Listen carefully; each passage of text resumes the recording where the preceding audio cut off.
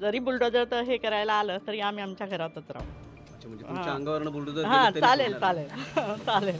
घरातून बाहेर निघणार नाही. आम्ही एवढ्या वर्षापासून इथे राहतोय आणि कोणीतरी येऊन आम्हाला म्हणणार की तुम्हाला एवढा एरिया देणार तेवढा एरिया देणार. आणि नाही नाहीच दिलं तर आम्ही काय करणार? आम्ही कुठे जाणार? आम्ही सामान्य लोक आहे. कारण एक बिल्डर येतो आणि म्हणजे अचानक येतो सगळ्यांना घरं पाडायची नोटीस देतो बुलडोजर फिरवायची नोटीस हे करतो धमक्या देतो. गुंड घेऊन फिरतो बाउन्सर घेऊन फिरतो रिव्हॉल्वर घेऊन फिरतो. मग हे त्याच्या पाठीमागे मी तर सरळ नाव घेते सत्ताधारी असल्याशिवाय त्याला हे शक्यच नाही आहे नमस्कार मी आहे प्रफुल केदारे आणि आपण पाहत आहात मीडिया भारत न्यूज. सध्या मुंबई ही ही मराठी माणसाची असं म्हटलं जातं परंतु हळूहळू मुंबईमधून जसा मराठी माणूस हद्दपार केला जातोय तेच लोण आता आपल्याला कल्याण परिसरामध्ये बघायला मिळत आहे कल्याण पूर्वमधील जिमीबाग हा एक प्रसिद्ध विभाग होता. तो कालांतराने करपेवाडी या नावाने प्रसिद्ध झाला.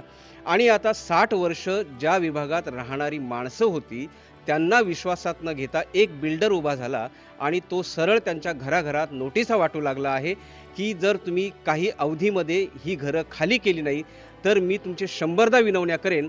पण एका मर्यादेनंतर मात्र बुलडोजर फिरवून तुमची ही घरं नेस्तनाबूत करेल. आणि या जमीन मालकाशी माझा व्यवहार झालेला आहे आणि ही जागा ही ते गृहसंकुलं निर्माण करण्याचं भूविकास करण्याचं काम मी सुरू करेल. तो अशा दमदाट्या कोणाच्या भरोशावर देतोय? तो अशी दहशत कुणाच्या भरोशावर निर्माण करतोय? ज्या लोकांनी आपल्या पोटाचा एक एक पैसा वाचवून या ठिकाणी आपली घरं उभी केली साधारणपणे तीन पिढ्या इथे त्यांच्या जगल्या त्याच लोकांना आज सरळ या रस्त्यावर आणण्याचं जे आहे त्यांच्यामध्ये कोणत्याही प्रकारचा समझोता झाला नाही कोणतीही बैठक झाली नाही. विकास केल्यानंतर किंवा विकासाच्या दरम्यान त्यांना पर्यायी जागा दिल्या जातील का भाडे दिले जातील का असा कुठलाही ठराव न करता थेट यांना राहत्या जागेवरून घराबाहेर काढण्याचे षडयंत्र नेमका कोण रचतोय? आपल्यासोबत आहेत शिवसेनेच्या नेत्या आशाताई रसाळ नक्की काय प्रकार आहे? इथल्या नागरिकांमध्ये दहशत आहे घबराट आहे. काय आहे? विषय असा आहे की मी जरी शिवसेनेची पदाधिकारी असली तरी मी सुद्धा ह्या स्थानिक विभागामध्ये राहते आणि माझं घरही तो जे म्हणतोय हा राज बिल्डर कोणतरी आलेला आहे. त्याचा मालक आहे राज चतुर्वेदी. त्याच्यातर्फे आम्हाला एक नोटीस देण्यात आली आणि त्या नोटिसीमध्ये सरळ असं लिहिलेलं की माझी माणसं येतील तुमच्या घराचं मोजमाप करतील आणि त्यानंतर तुम्हाला क्लस्टर योजनेअंतर्गत आम्ही घरे बांधून देत आहोत. त्यामुळे तुम्हाला आम्ही कोणतंही भाडं देणार नाही. तुमची तुम्ही घरं शोधा. ही जागा खाली करा. साडेचार वर्षांनी आम्ही तुम्हाला तुमची घरं बांधून देऊ. पण त्यासाठी त्याच्याकडं कोणती कागदपत्रं आहेत आणि आमच्याशी कोणतीही त्यांनी मिटिंग केलेली नाही आहे कागदपत्रं दाखवलेली नाहीत आणि ह्याला आम्ही ओळखतही नाही. हा अचानक उपटलाय आणि म्हणतो तुम्ही सरळ घरातून निघून जा घरं खाली करा. पण नगरपालिकेशी तुम्ही संपर्क साधण्याचा प्रयत्न केला का? इथल्या पोलीस विभागाशी संपर्क साधण्याचा प्रयत्न केला आहे का आत्ता आम्ही साधलेला आहे. आम्ही आता लेटर दिलेलं आहे. कारण ही नोटीस येऊनच आम्हाला आता दहा बारा दिवस झालेले आहेत राज बिल्डरकडनं. म्हणून आम्ही आता महापालिकेत आमचे पत्रव्यवहार सुरू केलेले आहेत. परंतु त्या दरम्यान हे नोटीस आल्यानंतर मग मला कळलं की आमच्या शेजारची एक दत्ता कॉलनी आहे ज्यांना विदाऊट नोटीस स्ट्रक्चरल ऑडिट वगैरे न करता चाळीमधल्या घरं धोकादायक ठरवून बारा रूम त्यांनी पाडलेले आहेत आणि ज्या रूम पाडलेल्या आहेत ती सोसायटी रजिस्टर आहे. महापालिकेची कोणतीही नोटीस नाही आहे काय नाही आहे आणि हे बारा रूम पाडलेल्यामध्ये ह्याच आमच्या जे वॉर्डच्या सहाय्यक आयुक्त सविता हिले यांचंही घर होतं. आणि त्याही बिल्डरशी संगनमत करतायत हा आमचा सरळ आरोप आहे कारण त्यांचं स्वतःचं घर देखील त्यांनी पाडलेलं आहे. तुम्ही किती वर्षापासून राहता मावशी इथे?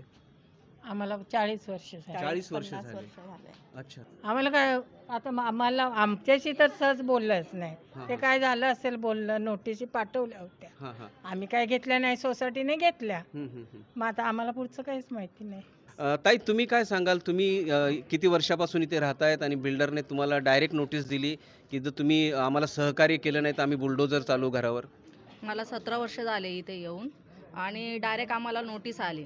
आणि आम्ही जेव्हा रूम घेतला आम्हाला जागा सहित दिलेली. आणि तो आम्हाला बोलतो की एवढा एवढा एरिया ते आम्हाला द्यायचं नाही आहे त्याला. मोस्टली आम्हाला द्यायचंच नाही त्याला.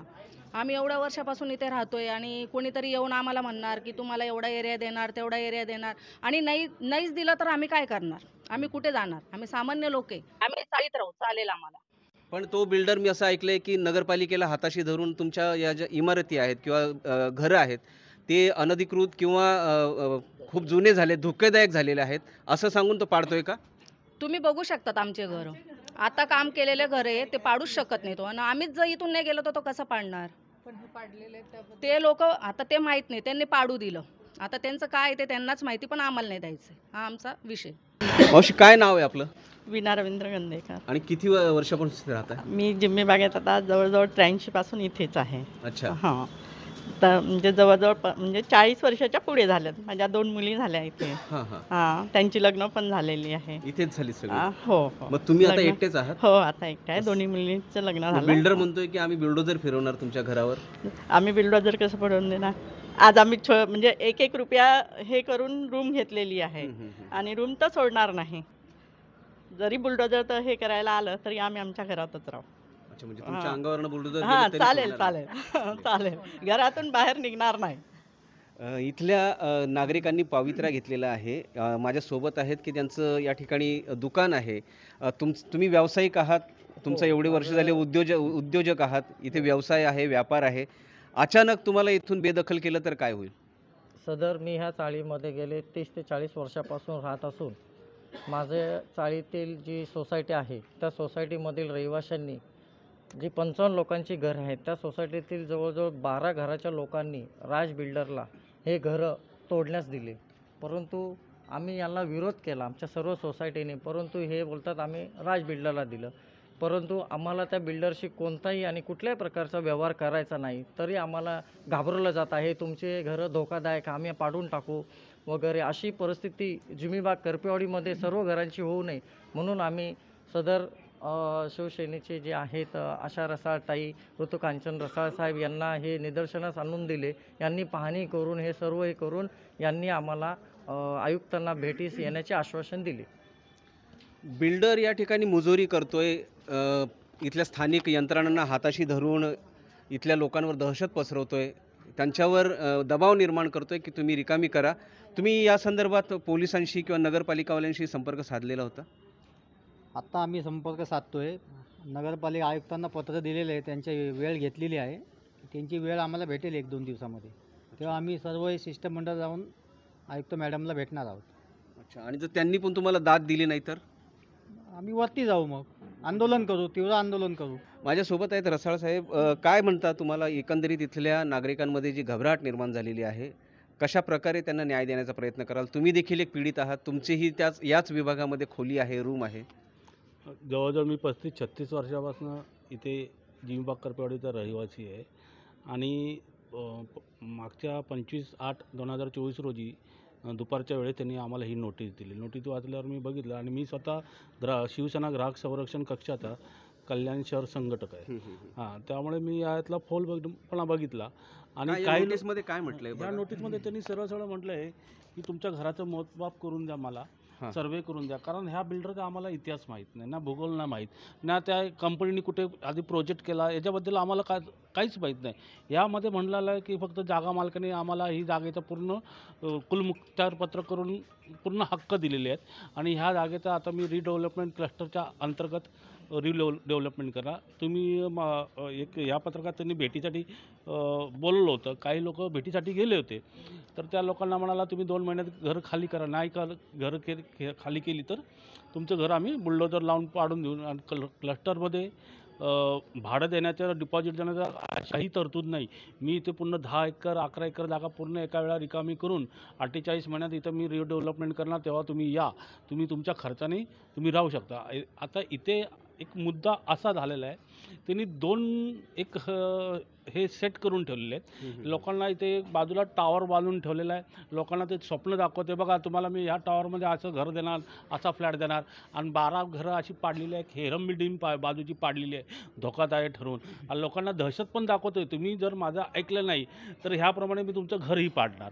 आता हे दोन स्टेशन टर्मिनलचं आता वेगाने काम सुरू आहे.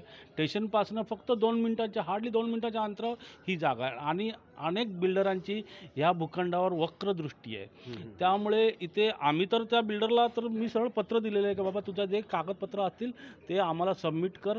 आम्ही आमच्या तज्ज्ञ लोकांकडनं ते बघू त्याच्यावर विचार करू. मग तुला पण त्या बिल्डरने अजून आम्हाला कागदपत्र दिलेली नाही आहे त्याबाबत फक्त तो फोन करतो आणि म्हणतोय तुम्ही एकटे या भेटायला तुम्ही एकटे या. एका ठिकाणी एका नेत्याला त्यांनी मध्ये घालून आम्हाला बोललो होतो भेटायला. हा. करतात. फूट पड एका ठिकाणी आम्हाला बोललं होतं त्यांनी भेटीला. त्याची भेट पण झाली पण तेव्हा पण त्याला मी प्रश्न विचारले काय तो म्हणतो नाही मी भाडं देणार नाही. मी साठ साठ मजल्याचे टॉवर बांधणार. बरोबर आहे इथं साठ मजल्याचे बांध नाही सत्तर मजल्याची पान पण स सर्वसामान्य इथं लोक आहेत. जे काबड कष्ट करून कोण रिक्षा ड्रायव्हर आहे कोण भाजीचा धंदा करणार आहे कोण कटलेचा व्यवसाय त्याला साठ मजलेल्या टॉवरमध्ये राहायला जमणार आहे का? तिथं मेंटेनन्स जमणार आहे का? हा पण एक महत्त्वाचा मुद्दा आहे. तर अशा एक प्रकारे आम्ही आयुक्तांना पत्र दिलं आहे महापालक आयुक्त इंदुराणी जाखड मॅडमला. परत upper Sanjay Jadhav sir upper police यांना. आणि इथले प जे कोणी ऐकत नाही नागरिक त्यांना पोलिसांकडे अटक करणं दमदाटी करणं पोलीस स्टेशनला ब तीन चार तास बसून हॅरसमेंट करणं अशा प्रकार चालू आहेत. तर आता आम्ही त्याबद्दल सर्वकडे पत्रव्यवहार चालू आहेत माझे. आता त्याबद्दल बघू आता काय निर्णय होतो ते. जर इथं कोणी ऐकलं नाही तर आम्ही शिवसेना स्टाईलने जन आंदोलन उभं करू आणि मग बघू त्याला सर्व मग इथलं स्थानिक प्रशासन जबाबदार असेल. कायदा सुव्यवस्था बिघडली तर इथलं स्थानिक प्रशासन जबाबदार असेल. पण अशा इथे तुम्हाला काय वाटतं की हा जो बिल्डर आहे ही मनमानी कोणाच्या बळावर करतोय? हजारो लोकांना वेठीस धरतोय. तो कुणालाही जुमानत नाही आहे नगरपालिका असेल पोलीस यंत्रणा असेल कोणाच्या बळावर एवढी मुजोरी करत असेल? हे सगळं उघड आहे कारण एक बिल्डर येतो आणि म्हणजे अचानक येतो सगळ्यांना घरं पाडायची नोटीस देतो बुलडोजर फिरवायची नोटी हे करतो धमक्या देतो गुंड घेऊन फिरतो बाउन्सर घेऊन फिरतो रिव्हॉल्वर घेऊन फिरतो. मग हे त्याच्या पाठीमागे मी तर सरळ नाव घेते सत्ताधारी असल्याशिवाय त्याला हे शक्यच नाही आहे आमच्या इथे खासदार आहेत आमदार आहेत. मग त्यांनी आत्तापर्यंत का लक्ष दिलं नाही आहे आज आम्ही एवढं गवगाव करतोय सोशल मीडियावरती टाकतोय. मग का कुठला आता इथे खासदार कोण आहेत? मुख्यमंत्र्याचा मुलगा इथे खासदार आहेत. मग ही जनता त्यांची नाही आहे का? त्यांना ओ- मतदान आम्ही केलेलं नाही आहे का? आज इथे पाच ते सहा हजार लोकसंख्या ही आहे. मग त्यांनी मतदान केलं नाही का? मग त्यांचं काम होतं ना की इथं काय चाललंय? कोण बिल्डर येतोय आणि एवढी दादागिरी करतोय घरं खाली करून मागतोय? ह्याचाच अर्थ त्या ज्या बिल्डरला आहे इथं सत्ताधाऱ्यांचं स्थानिक प्रशासनाचं अभय आहे त्यांच्या जीवावरच तो इतकं उघड उघड बोलतो तो सरळ सांगतो ह्याच्यामध्ये पोलिसांचे पैसे लागलेले आहेत. तो सरळ पोलिसांची नावं घेतो. मी तर सोशल मीडियातून पोलिसांना सुद्धा आवाहन केलेलं की तुम्ही या माझ्या व्हिडिओचं हे घ्या दखल घ्या आणि त्याला बोलवा तुम्ही विचारा की कुठल्या पोलिसांचे पैसे आहेत.